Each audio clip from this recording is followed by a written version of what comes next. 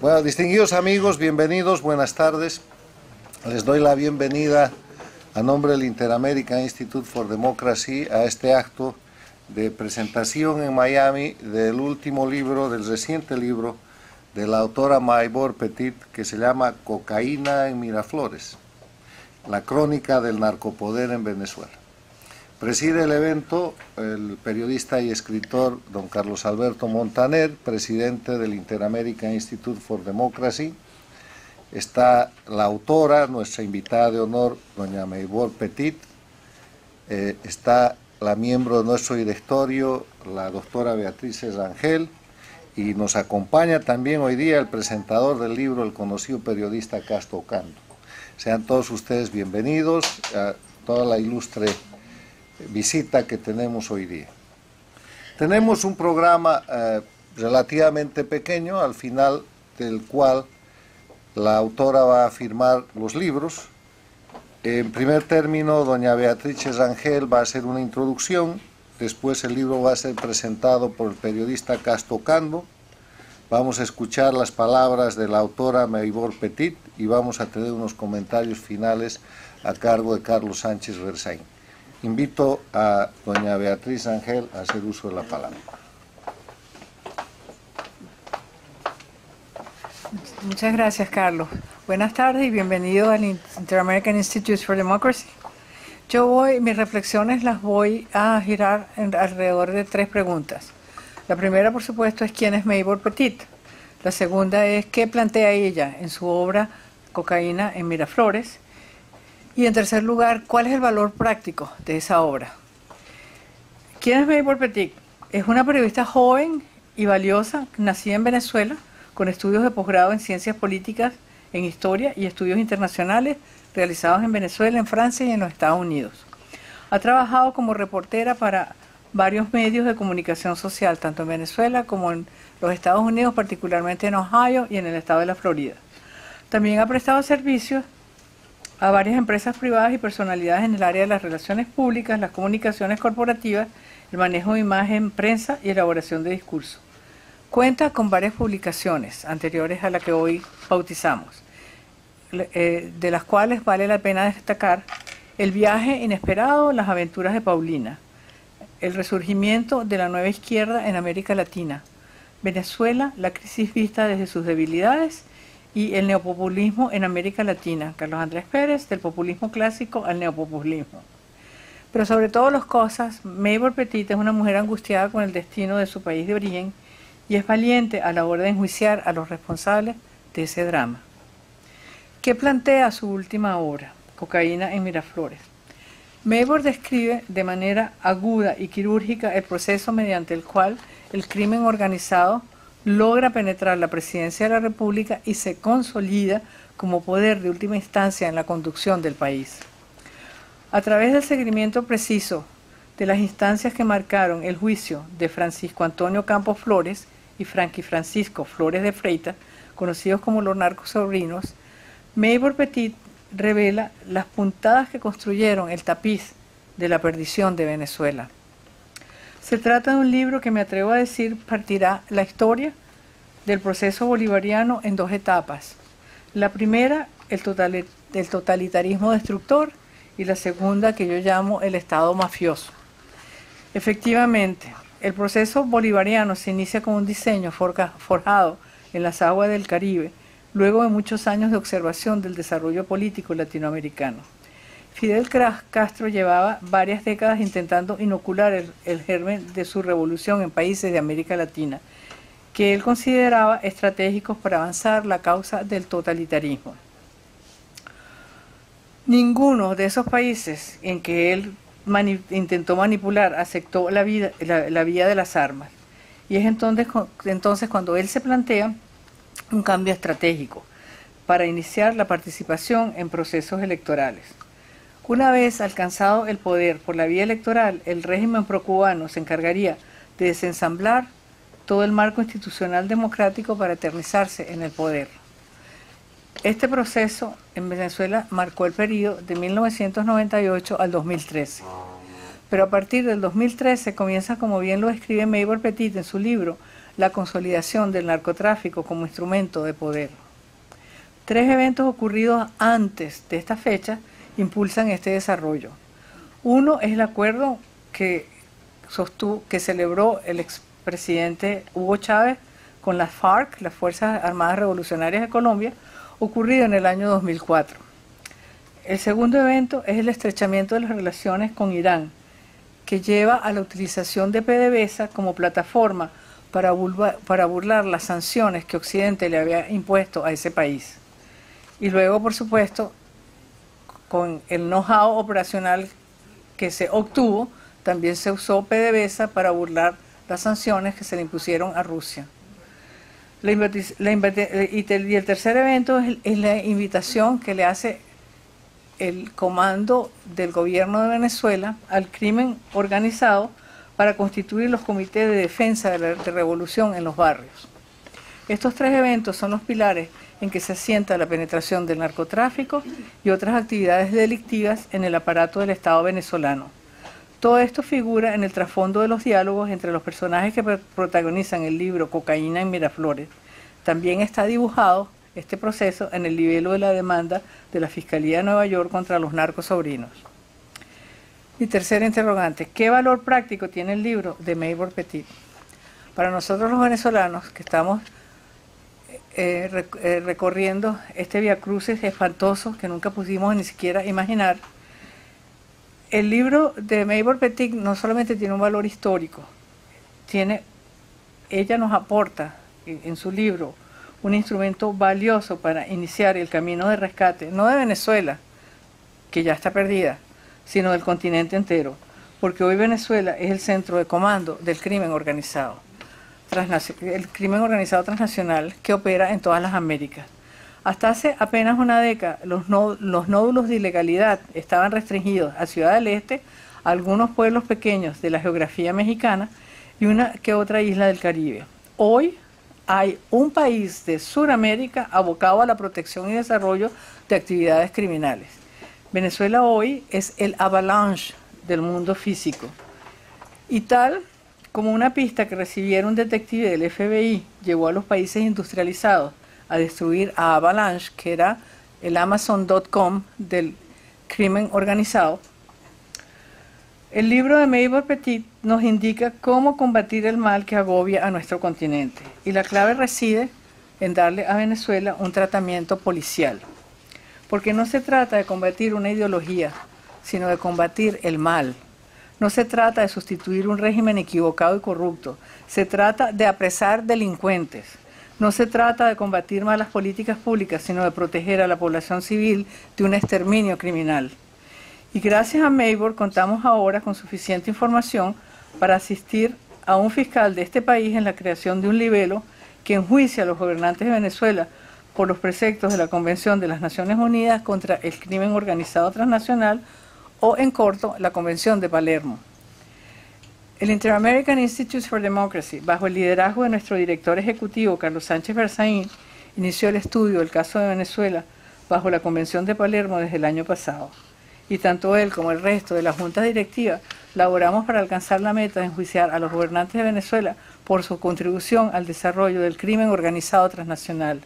Maybor, gracias por tu contribución al logro de este objetivo.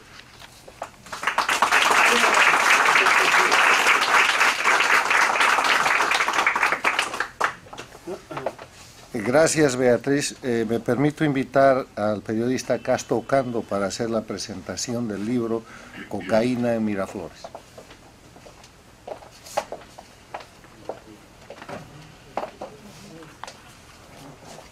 Buenas tardes. En primer lugar, gracias al, Inter-American Institute for Democracy por este tipo de eventos. Este es el segundo en el cual yo participo, pero creo que hay una labor muy importante que se está haciendo y que vale la pena eh, continuar. Em, me parece significativo que estemos presentando este libro hoy, que en Venezuela se celebra el Día del Periodista. Eh, es una oportunidad muy interesante para poner de relieve lo que está pasando, lo que insignifica, digamos, el ejercicio del periodismo en Venezuela y fuera de Venezuela, que nunca está o que está cada vez más sigue siendo una profesión de mucho riesgo, incluso fuera de Venezuela. Eh, yo quería comenzar un poco brevemente, eh, para añadir eh, algo a las palabras de, de Beatrice. Um, quería comenzar con algunas cifras sobre el, sobre el libro que escribió Maybor. primero que es el resultado de una cobertura periodística de dos años, desde el momento que se produce la captura de los llamados narcosobrinos, que fue en noviembre del 2015, hasta la sentencia en Nueva York en diciembre del 2017. Son 25 meses, eh, durante los cuales Maybor produjo más de un centenar de notas y, como periodista me parece esto es bien importante porque cuando uno hace cobertura de temas de, de, juicios, por ejemplo, de corte, es un tema bastante complicado. Uno tiene que ir a la corte, no te dejan llevar, por ejemplo, ni grabadores, escasamente algunas notas. Em, a veces hablan múltiples testigos.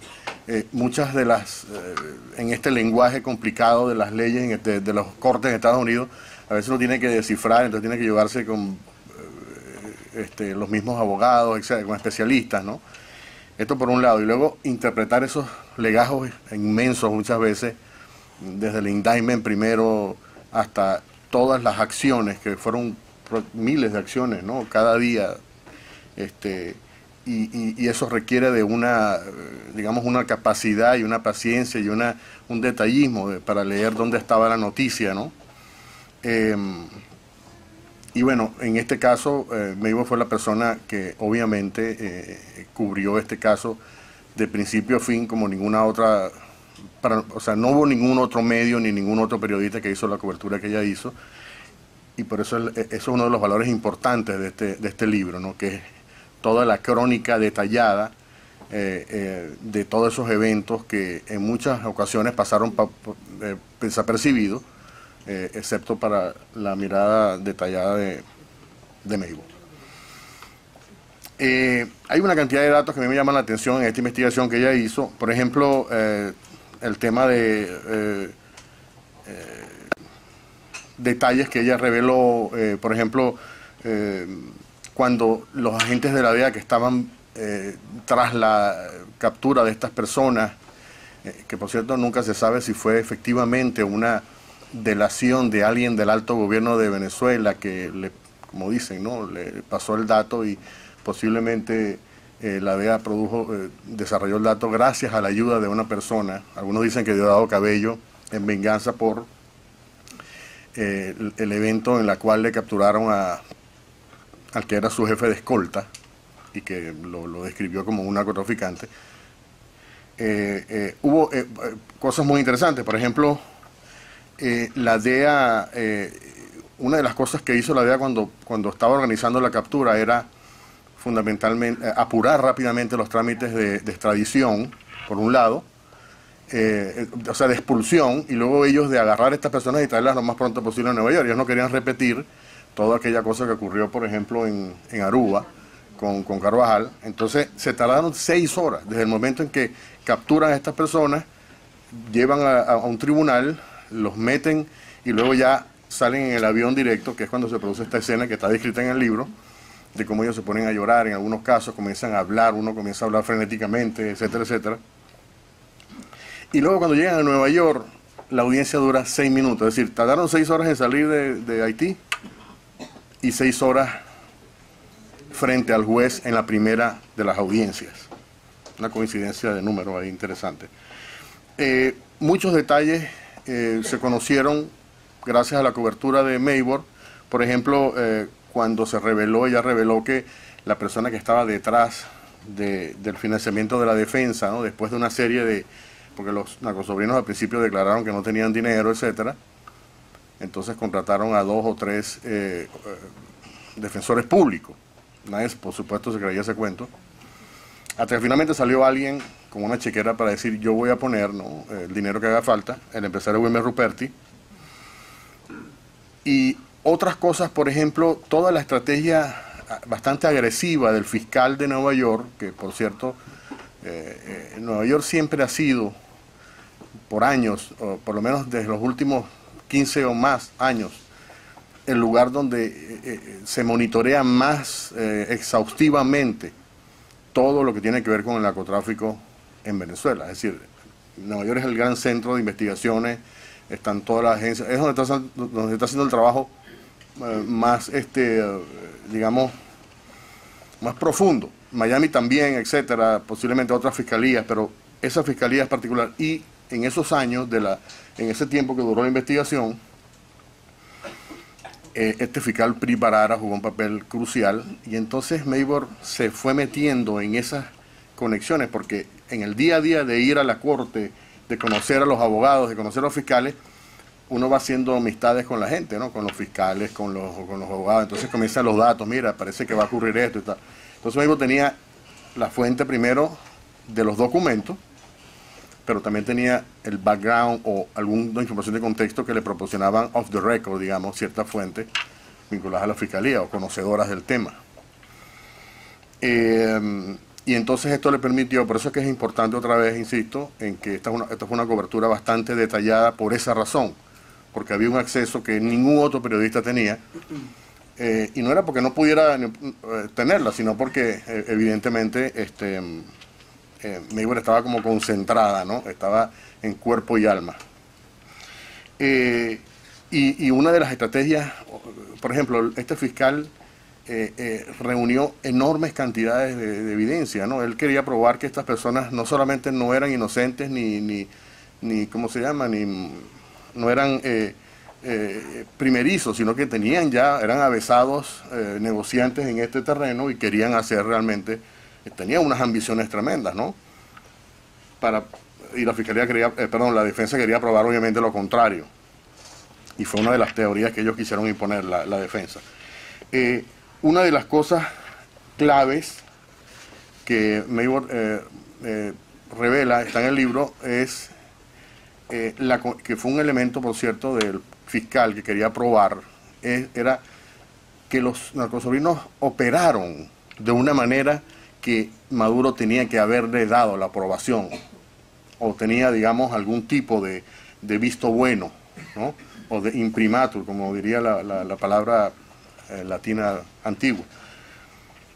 Y esto naturalmente eh, fue utilizado por la, por la Fiscalía eh, como elemento fundamental y bueno, hubo una cantidad de evidencias, muchas de, las, de los testigos presentados por eh, la Fiscalía fueron eh, cuestionados severamente, pero se impuso finalmente toda esta forma de, o sea, todos estos elementos que fueron reunidos pacientemente por la Fiscalía para mostrar que esta era una cosa mucho más. Por ejemplo, una de las cosas que se probó es que este señor tenía, estos señores, estos dos narcosolinos tenían relaciones con otros capos importantes en Venezuela. Este, hay un tipo que se llama Hermádora González Polanco, eh, o, había otro, este, Em, eh, de nombre así medio ruso, aquí está, Vasily Kotovsky Villarruel, que estaba siendo acusado de enviar 50 toneladas de cocaína a, Estados Unidos a través de las conexiones con el cartel de, eh, de los Z. no voy a ampliar, porque ya lo hizo Beatriz, sobre el tema de la trayectoria de Maybor, lo único que puedo decir es que conozco a Maybor porque estuvimos juntos en la Universidad del Zulia hace, no voy a decir, no voy a decir cuánto, tiempo, ¿no? Coincidimos, por ejemplo, en la Universidad, ya trabajó en la Universidad, en el Nacional, después aquí eh, eh, eh, trabajamos en, muchos proyectos, por ejemplo, en Vértice News, un, portal del cual yo soy editor. Bueno, Maybor también hay que mencionarla, fue profesora de periodismo en Venezuela y historia de Venezuela en la Universidad de Santa María, que había una cátedra de periodismo. Y también tuvo una experiencia en el área de los derechos humanos. Ella tuvo, eh, como ella fue miembro de una organización eh, eh, que se llama Women for Human Rights International. y bueno, aparte de toda la, digamos, toda la trayectoria académica, que es interesante porque a uno como periodista no le da tiempo de reforzar o de tener, digamos, ese aparato crítico de la, que, te proporciona el estudio académico, pero bueno, ella tuvo afortunadamente el tiempo y, la posibilidad de hacerlo. Eh, yo quería hablar no, no, voy a extenderme mucho, así que, pero quiero, no quiero dejar de referirme al tema de los riesgos que ella ha corrido, no desde ahorita, sino desde hace algún tiempo. En el año 2005, por ejemplo, este, estaba en Venezuela, estaba naturalmente haciendo la cobertura, eh, cuando eso había todo este movimiento de, militares que se estaban manifestando contra Chávez. Y, y, ese fue el año en que Mayweather la metieron en una lista, eh, una lista de, de periodistas conectados con militares opositores, porque ella estaba naturalmente cultivando fuentes entre esos grupos descontentos de los militares.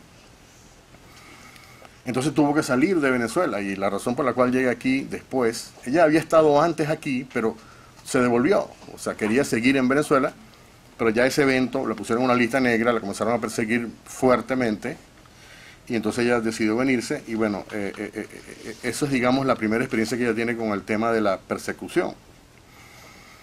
Naturalmente, todo este tema de la cobertura de los narcosobrinos desata toda una cantidad de ataques que primero eran cibernéticos, trataron de intervenirle en los correos electrónicos, tumbarle la página, eh, había amenazas veladas, después eh, eh, había hackers que, la, que se comunicaban con ella diciéndole cómo hacemos para que tú tumbes esto. O sea, evidentemente el trabajo que ella estaba haciendo le estaba causando un, problema muy serio a, a, Miraflores, ¿no? En Venezuela, al, poder en Venezuela.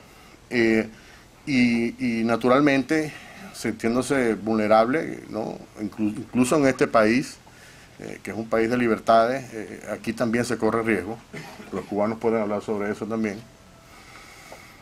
Ella naturalmente notificó al FBI y entonces el FBI ha mantenido una, una no solamente una, una, digamos, una vigilancia y un monitoreo, sino también una... Eh, un expediente, ¿no? Porque ha habido amenazas de muerte, ha habido eh, eh, información que indica que probablemente han contratado sicarios, etcétera, o sea, eh, cualquier cosa de lo que es capaz este régimen. Quería terminar ya para diciendo lo siguiente, este, lo que plantea en este libro, yo creo que es un tema muy importante para entender el verdadero objetivo de las revoluciones bolivarianas del siglo XXI eh, eh, como el título lo dice, Cocaína en Miraflores, este es probablemente, yo no sé si eh, Carlos Alberto Montaner puede saber más, pero yo no recuerdo un país en América Latina cuyo gobierno haya estado controlado o manejado por personas vinculadas al narcotráfico como ocurre con Venezuela ahora. Si ha existido en el pasado. Probablemente en Haití, pero sin las ramificaciones regionales que ocurren con Venezuela. Pero yo creo que esto es, eh, eh, en mi opinión, ya no es solamente un tema de circunstancial, ¿no? de unos muchachos que quisieron enriquecerse. Uno de ellos dijo que quería reunir lo suficiente para venir a pasar el resto de su día en Estados Unidos. Una cosa absolutamente... ¿no? Eh, sí. Pero lo que quería señalar ya para terminar es el hecho de que, de que estamos en una situación de gobierno que, donde el narcotráfico, el narcolavado y las relaciones criminales juegan un papel fundamental. Ahí, este libro coincide con otro libro que a mí me parece que es tan importante, o son, digamos, coinciden mucho, que es el libro que escribió otro amigo periodista, Leonardo Cutiño, en Brasil, que se llama eh, Chávez el Espectro, que básicamente narra cómo, entre otras cosas, eh, hay una vinculación operativa, ¿no? De, por ejemplo, gobiernos como el de Bolivia, y, Carlos Sánchez sabe mejor que nadie, eh, transportando droga en aviones militares desde La Paz hasta Caracas, ¿no? en una cosa que ha ocurrido por años. Eh, Evo Morales, no sé cómo se llama el Palacio Presidencial en, en La Paz. Palacio Quemado. El Palacio Quemado, entonces sería el Palacio Quemado a Miraflores. Y la misma cosa se ha detectado, por ejemplo, con Nicaragua, con El Salvador. Eh, ha habido eh, eh, en algunos momentos, algunos episodios con Ecuador, cuando estaba Correa. Y, y la, la, preocupación principal, ¿no? y esto para cerrar, es que me parece que este fenómeno no es una cosa casual, sino que está dentro de la concepción ideológica de cómo estos nuevos regímenes están planteando la toma del poder y la perpetuación en el poder a largo plazo. Están echándole mano no solo a la corrupción, eh, que es una cosa pues, probablemente más tradicional, sino al tema del negocio del narcotráfico y de las estructuras, porque no es solamente narcotráfico, sino lavado de toda esta estructura a través de organismos como PDVSA, etcétera, y a través de entidades del gobierno, hasta el Banco Central de Venezuela. A mí me parece que esto es una situación muy, muy peligrosa. Y yo creo que esto es una situación en la cual hay que enfrentarlo eh, tarde o temprano con determinación. Y yo creo que el libro de, de contribuye como poco esfuerzo a esta, a, esta manera de enfrentar. Gracias.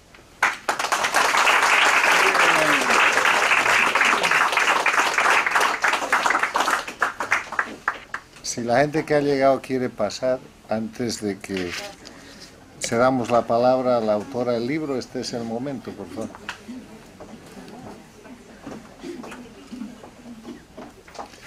Voy a invitar a doña Maybor Petit, autora del libro Cocaína en Miraflores, a hacer uso de la palabra.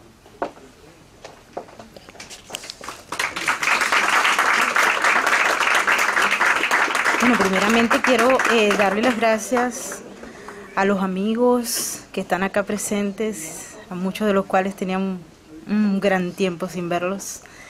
Eh, al Instituto Interamericano de la Democracia, al señor Carlos Sánchez, a Beatriz Rangel, gran amiga, luchadora, al profesor Carlos Alberto Mantenel y obviamente a mi amigo Casto Cando, que como él les confesó, sin mi autorización obviamente, pues hemos compartido largos años de experiencia en el periodismo y en amistad, en la búsqueda de soluciones a, este caos que estamos viviendo los venezolanos desde hace ya dos décadas. Eh, cuando empezamos a trabajar el tema del narcotráfico, obviamente eh, ya sabemos por la historia triste de América Latina y de las ah, vinculaciones que permanecen intactas entre las estructuras criminales y algunos gobiernos, pues eh, nos pensamos, bueno, eh, ¿qué hacemos? no? Es la oportunidad de hacerlo, hay que averiguar, investigar. En Venezuela es una tarea titánica, puesto que el gobierno tiene un control casi absoluto de la información, pero en los Estados Unidos se ofrecen grandes oportunidades para averiguar especialmente cuando se empieza a conocer la estructura a través de la cual se maneja la información y fuentes que se van cultivando en la medida en que uno va trajinando en el quehacer del periodismo. Y bueno, tocó una oportunidad, se está buscando desde hace más de 14 años. Se viene especulando que había una relación entre el narcotráfico y el poder político en Venezuela. Una parte de la sociedad decidió negarse a creerlo. ¿Cómo se negó a creer lo que estaba ocurriendo con la pérdida de libertades y del Estado de Derecho? Así ocurre en buena parte de las sociedades que han experimentado estos fenómenos. Ah, recuerden la Alemania nazi, eh, la gente se niega a creer porque es muy cómodo no creer y el trabajo del periodista, el trabajo de las personas que luchan, que hoy en día pues constituyen un enorme ejército y que tratan de averiguar qué es lo que ocurrió y qué es lo que está pasando para explicar el caos que vivimos. Y así pues empezamos a buscar cómo evidenciar, porque el problema está en cómo evidenciar y acabar con la especulación, que es el, el elemento, el alimento de la propaganda del régimen chavista para eliminar aquel que está tratando de evidenciar. Y eso pues nos pasa a los periodistas y nos pasa a todo aquel que anda metiendo la nariz donde el régimen no quiere que se huela, ni que se sienta, ni que se diga. Y creo que he sido afortunada, puesto que tanta averiguación y tantas mecanismos que uno buscaba, fuentes, eh, mm, tratar de solicitar información, entrevistas están vedadas por parte del régimen y si se las dan, pues lo que hablan son puras mediocridades y pistoladas que no tienen sentido ni siquiera reseñarlas. Pero ¿cómo evidenciar? Y apareció el caso de los sobrinos, porque la intención inicial era justamente cómo averiguar esa relación que se fue estrechando y que se fue develando entre el poder político venezolano, sea este del régimen de Hugo Chávez o de Nicolás Maduro, y las organizaciones criminales internacionales. ¿Cómo probar la naturaleza del régimen? ¿Cómo buscar evidencia real? Y pues se presentaron en la Corte del Distrito Sur de Nueva York y a través de una serie de testigos privilegiados para la justicia norteamericana que eh, lograron suministrar pruebas, evidencias de toda naturaleza para de una vez por todas acabar con la especulación y lograr que en las cortes donde se tiene que demostrar la causa probable se dijera en Venezuela definitivamente hay una vinculación del poder político con el narcotráfico. Eso definitivamente nos, ayudó a avanzar. Estábamos en las penumbras y había que recordar, y hasta hoy, estaba conversando con, con el amigo Carlos y me decía el caso del Chapo Guzmán. Todos los criminales, cuando son acusados en cortes, dicen que son inocentes hasta que se demuestre lo contrario, ciertamente. La Fiscalía del Distrito Sur de Nueva York logró evidenciar, más allá de la duda razonable, que estos dos sujetos, Efraín Antonio Campos Flores y Frankie Francisco Flores de Freita, habían participado en el negocio del narcotráfico, pero adicionalmente a ello, que sus familiares directos tenían conocimiento pleno de lo que estaba ocurriendo que también usaron la estructura del Estado venezolano para el negocio del narcotráfico, que utilizaron un espacio que está única y exclusivamente autorizado para el presidente de la República para manejar negocios de narcotráfico, que utilizaran hoteles que son propiedad del gobierno o del Estado venezolano para realizar reuniones con narcotraficantes internacionales. Es decir, quedó develada esa estructura, esa naturaleza que no quería, que estaba prácticamente oculta y que el régimen utilizaba muchísimo dinero y un enorme ejército de servidores para tapar, para acabar y para acabar con la reputación de todo aquel que está intentando evidenciar. Yo no sé si ustedes recuerdan cuando eh, se dio a conocer este asunto de los sobrinos de la pareja presidencial, que empezaron todos los voceros, entre ellos Diosdado Cabello, eh, Tania Díaz y la misma Cilia Flores, pero en un inicio no eso fue un secuestro de la DEA, son unos muchachos inocentes, pobrecitos ellos, nunca han tenido nada que ver con el narcotráfico, inclusive Diosdado Cabello em, dijo, ¿por qué? Se regresó la, avioneta, el avión con los otros pasajeros y solamente dejaron estos dos. Obvio, es un, un secuestro de la DEA. Pero a Diosdado Cabello y a los otros miembros del régimen se les olvidaba que quedó todo evidenciado y que hubo una razón muy particular que fue expresada en la corte, y no se las voy a contar acá para no hacerles largo el cuento, porque además van a leer el libro, de por qué esa avioneta regresó a Venezuela y por qué los dos sobrinos sí se quedaron en Haití y por qué fue en Haití, y adicionalmente a ello, por qué se produjo en los términos que se produjo. La primera dama venezolana obvió en un primer momento dar una opinión y luego opinó, pero mintió.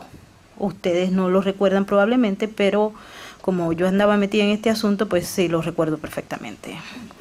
Ella habló que luego que la justicia se impusiera, ellos iban a presentar las verdaderas evidencias, cosa que nunca ocurrió, porque las verdaderas evidencias fueron presentadas frente a un jurado que estaba constituido por 18 personas neoyorquinas que nunca habían oído, bueno, supuestamente, hablar de Venezuela, que no tenían la más mínima idea ni siquiera dónde Venezuela quedaba, y que estaban comprometidos con la ley y el orden para establecer un veredicto que tuviese apegado a la ley de los Estados Unidos, y así se dio.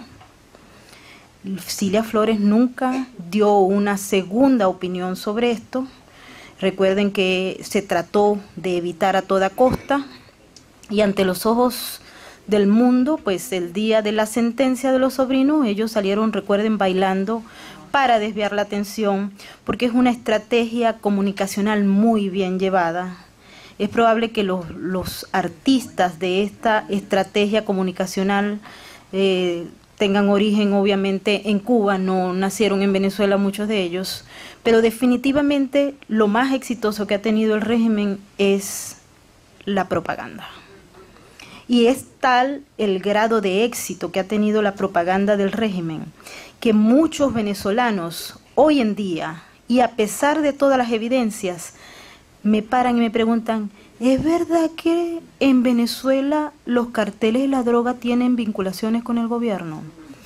Y eso es un efecto importante que hay que tomar en cuenta, porque no hay conciencia, porque hay ausencia de información. En el caso venezolano, eh, yo no sé si ustedes saben, hoy estamos celebrando el Día del Periodismo. El Día del Periodista en Venezuela no se celebra, es un, día para reflexionar, para denunciar, para atacar y justamente ahora que una buena parte de los portales que ofrecían información a los venezolanos están bloqueados, incluyendo mi blog Venezuela Política, eh, no hay acceso a la información y bueno, cada día eh, va a ser un poco más complejo para la sociedad venezolana mantenerse informado de lo que está ocurriendo más hacia afuera que hacia adentro. Eh, al régimen no le interesa que la gente se informe, eso está mm, muy claro, eh, y no le conviene tampoco que se sepa qué está ocurriendo afuera con excepción del fútbol y de otros elementos que no son dañinos en el fondo para el proyecto que ellos están desarrollando y que, como me decía el amigo Carlos Sánchez, pareciera que se está consolidando lamentablemente.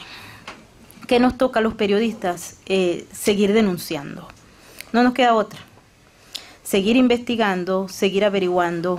Estamos frente a enormes casos en las cortes criminales de los Estados Unidos y eh, vamos a seguir haciéndolo. Vamos a informar sobre nuevos casos de narcotráfico, nuevos casos de corrupción administrativa y el resultado de esa gran industria que es justamente el lavado de dinero, lavado de dinero criminal proveniente no solamente de la corrupción, sino de el narcotráfico, que entra a los Estados Unidos, que ha penetrado el sistema financiero norteamericano y que ha generado una clase opulenta, groseramente opulenta, que además se jacta de ser opulenta.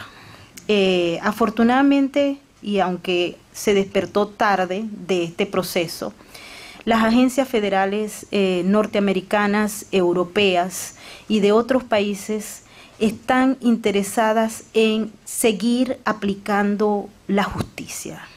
Y creo que es a través de esta vía que nosotros podemos tener una esperanza que aquellos culpables de la destrucción del país y aquellos culpables que se vincularon directamente con el poder pero patético el narcotráfico, sean castigados.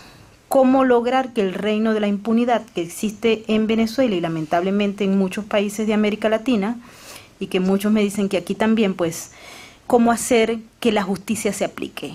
¿Cómo hacer que la justicia criminal toque a esas personas que son culpables de delitos nefastos que han destruido la estructura de los estados? Venezuela no está sola, en este asunto. Ustedes saben muy bien que el origen y la naturaleza del problema surgió de Cuba y eso lo tienen muy claro los amigos cubanos que en Miami pues son mayoría, pero adicionalmente a ello tenemos otros tentáculos, otros estados, microestados que están vinculados al narcotráfico. Y estamos eh, tocando el caso de Bolivia, por ejemplo, el caso de Nicaragua. Y hoy en la discusión, Carlos, se nos olvidó mencionar el asunto que tiene lugar en El Salvador, donde uno de los vicepresidentes en el área económica está vinculado con el hasta hace poco vicepresidente venezolano, que forma parte de los ah, designados como narcotraficantes en la lista OFAC. Me refiero a Tare El Aizami y a muchos otros que forman parte de esos famosos carteles que hacen y operan en Venezuela sin ningún tipo de restricción, es decir, eh, con total impunidad. José Luis Merino es el vicepresidente de Asuntos Económicos de El Salvador.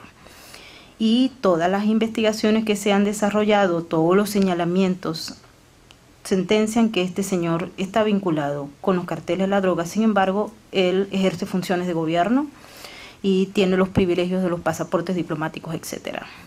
En Honduras también hay un problema enorme, porque tuve oportunidad de cubrir varios casos criminales en Honduras, que por cierto el caso de los narcosobrinos estuvo desarrollado en una parte eh, de Honduras donde reinan las organizaciones criminales.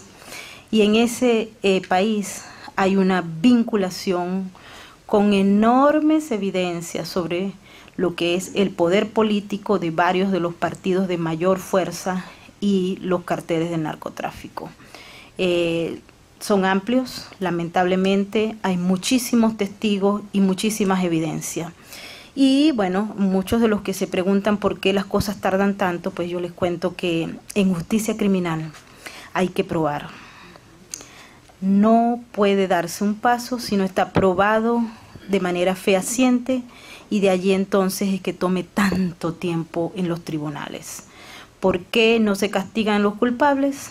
Porque hay que probar que son culpables y eso cuesta dinero al Estado norteamericano u a otros estados en Europa o en América Latina, pero adicionalmente a ello requiere de un enorme eh, personal que esté en capacidad de realizar todos estos trabajos de detalles de investigación, abogados, fiscalías, etcétera.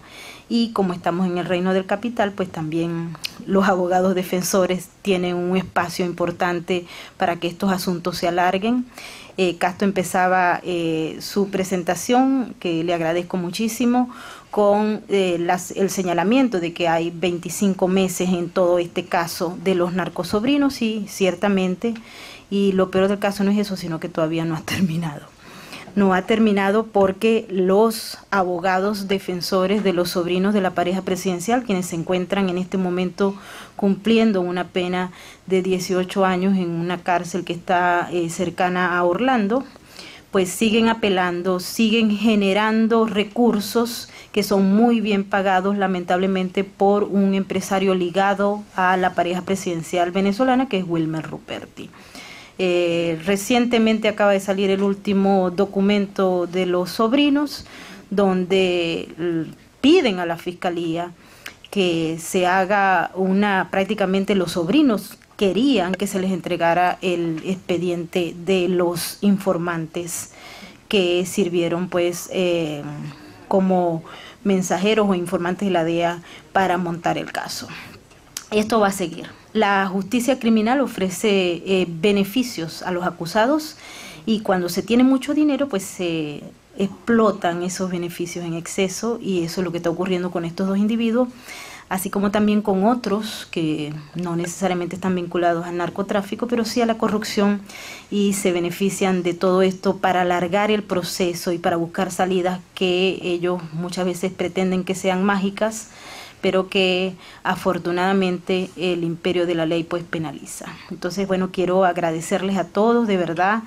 Eh, al instituto por esta oportunidad de comunicarme con, ustedes y ofrecerle este trabajo que llevó dos años y que busca eh, la continuación para evidenciar esa relación eh, tan estrecha hoy en día que se puede ver entre el poder político y las organizaciones criminales en Venezuela y lamentablemente en América Latina.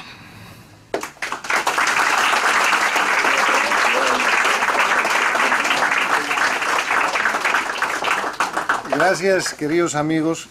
De acuerdo al programa, permítanme unos comentarios finales sobre eh, la brillante obra de Maybor Petit en su libro Cocaína en Miraflores y lo que es la realidad del hemisferio, la realidad de las Américas.